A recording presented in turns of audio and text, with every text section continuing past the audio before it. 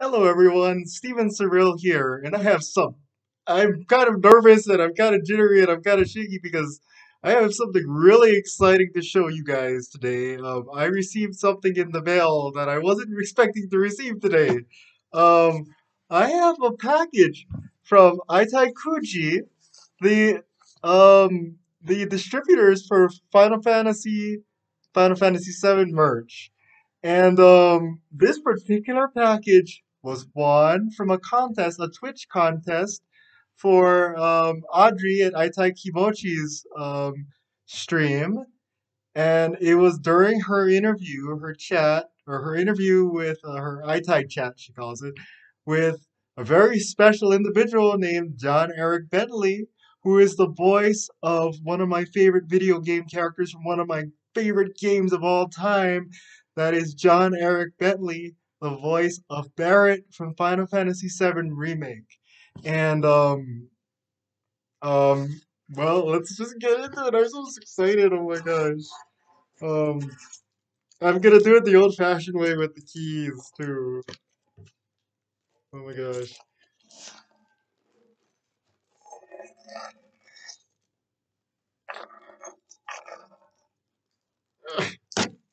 Okay. I'm gonna cut this this really nice um blue packaging they have. Um, this iTech iTech Kikuchi packaging. And uh, by the way, I hear you can get this on their official website too. Um, so let's see. That is at aitaikuji.com. That's A I T A I K U J I dot com. Okay, that's the wrong one. Okay, almost over. Oh my gosh. Oh my gosh, I'm so excited. I'm so excited. On. I probably should have thought this through, huh? And got like a scissors or something. Okay. Oh, so much thought and effort was put into there. Okay. So, uh, let's see what's in here. Oh my gosh. I'm like, uh, okay. Oh my goodness! I got it. It's an autograph from John Eric Bentley. Let's see.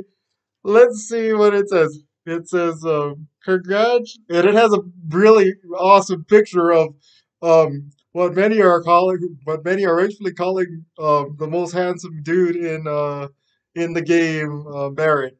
Uh, it says, congratulations. No disrespect to, um, uh, never mind.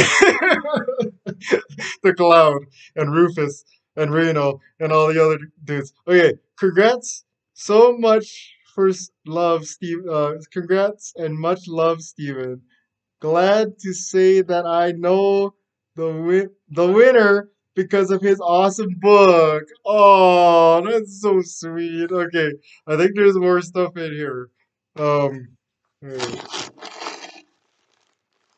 this is this one is a well, the big reveal because um, this is like the first one outside of the actual like distribution center ever.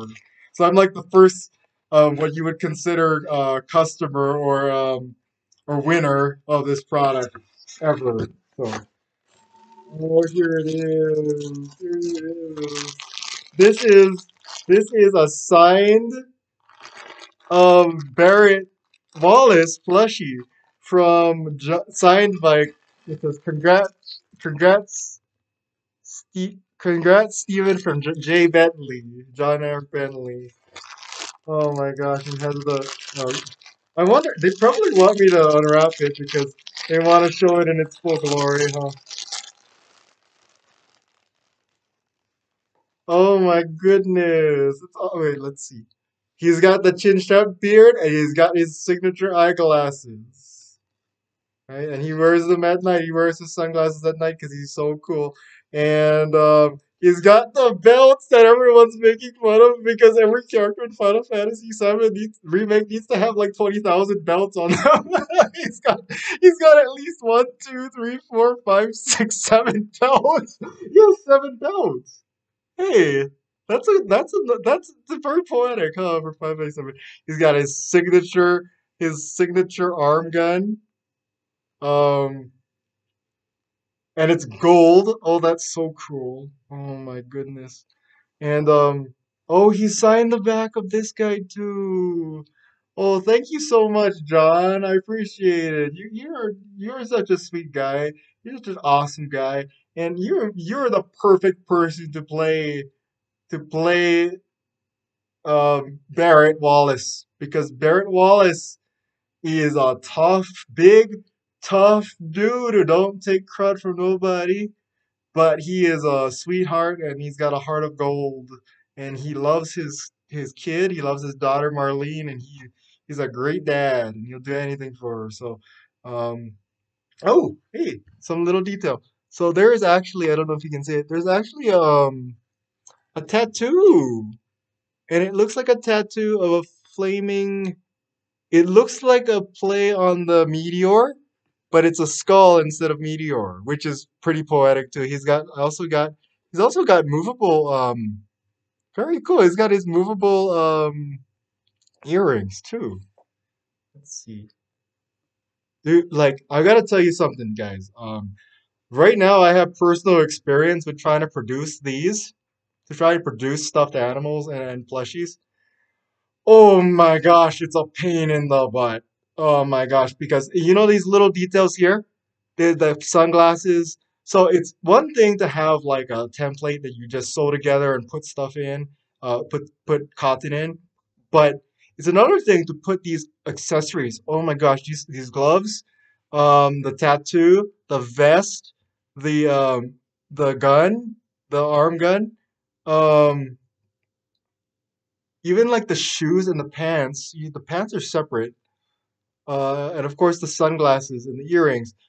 That that's a lot of detail, and they usually charge you for every single little add-on like that. Um, the Aitai Kuji People's uh, distributor or the, the person who manufactures these for them must be a saint because uh, this is a pain in the butt to make, and I greatly appreciated Audrey and uh, Harada and um, of course John for for you guys doing this for me, and I appreciate this so much. Um, it says Barret Wallace plush, and it has a lot of ins- instructions.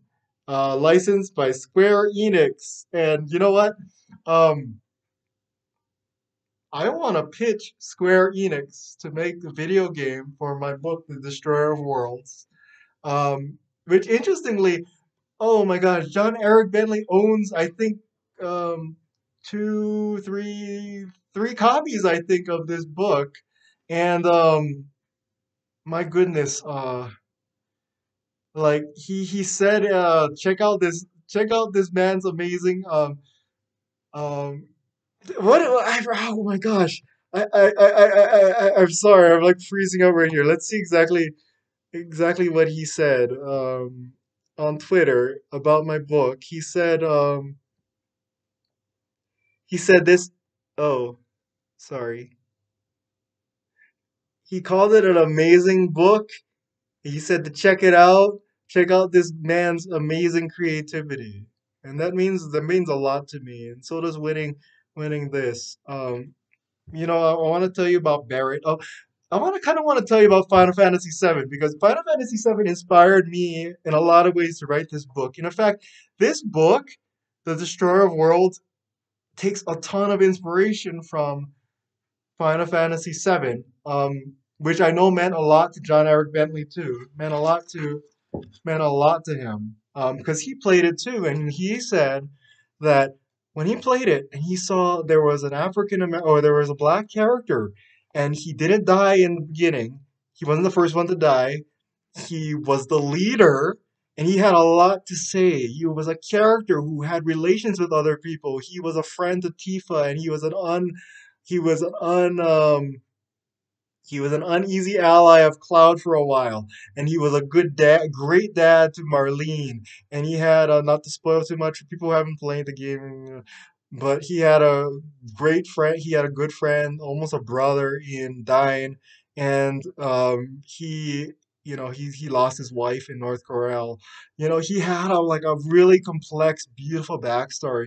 One thing about John, um, one thing about uh, Barret Wallace that I love is that um, there's complexity and depth to him because he's a big, strong, tough guy. And one of the things I loved, loved, loved, loved, loved about the original game, and a lot of people didn't like it. I know, understand. They they say it's a, it, um, they say that it's insensitive or whatnot, or it's uh, it, it, it, ages the game or whatnot. I love the expletives. And let me tell you why. Because because Cid Cid later in the game gets a lot of credit. I, for some reason, people remember Cid cussing a lot. But Barret did it first, and Barret did it, in my opinion, better because you didn't exactly know what Barret was exactly the words Barret was using because they were censored uh, with symbols, and I still do that, you know, because I don't really swear, um, especially online or in person. Um, but I will sometimes do the exact same thing following the Final Fantasy VII um, template where I will just censor it using symbols. But you knew what Barret was saying. He was basically telling people um, to to wake up, soldier, and you go get it done. And you go do this because it's important. We're gonna save the planet. And it was so important to him that he had to go and cuss about it. That's important. We gotta save the planet. We gotta stop Shinra from sucking the energy out. Eventually, we have to stop Sephiroth from dropping meteor on us. You know, um, great character. One of my very, very, very, very, very favorite character, video game characters ever. One of the best characters in Final Fantasy VII, which is which is famous for having some of the greatest video game characters, most memorable video game characters ever. Uh, and uh, thank you, thank you guys so much, Aitai Kuji, uh, Audrey, and um, and of course John, uh, for for sending this and getting it, giving it to me. Uh, I'm so touched. Congrats so much. Congrats and much love, Steven. Glad to say that I know the winner because of his awesome book. Oh, that's beautiful. I, I I'm very happy. Um, so uh, I'm so glad that this went off. This went well. Oh my gosh, I was so nervous. I was I was worried I was gonna mess up this unboxing it was gonna spill all over the place. I was gonna drop the products which I value so much. Oh my goodness. Uh, and there's a Mako reactor behind Barret. Oh, the symbolic Mako reactor. Oh my goodness. So awesome. Thank you so much, guys. Uh, God bless you, and I hope that I wish you and your families a lot of safety. I hope that we can all all stay safe and we can all um, find success and happiness and joy. Um, so God bless and take care, you guys. Take care.